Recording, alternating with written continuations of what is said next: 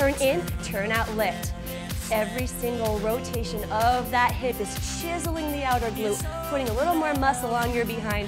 And remember, the more muscle you build, right now, more calories you're burning around the clock. One more, rotate and lift. Rotate. Is your tummy still tight? Is your chest open? Two more, rotate and lift. Now just lift it up four times. Here's our finale. We're already there. We're gonna lower the leg for two counts. We're bringing the heel to our calf. Remember the coupe you did in calf work? Same thing here.